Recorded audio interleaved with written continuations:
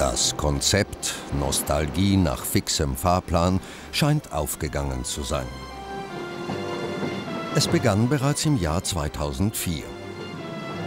Der Erlebniszug von Wien auf den Semmering mit dem klingenden Namen Zauberberg wurde ein voller Erfolg.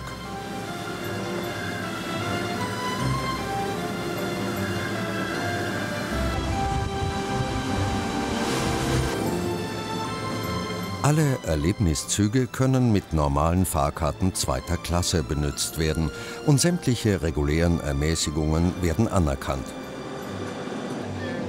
Im heurigen Bar- oder Speisewagen sorgt man für das leibliche Wohl während der Fahrt.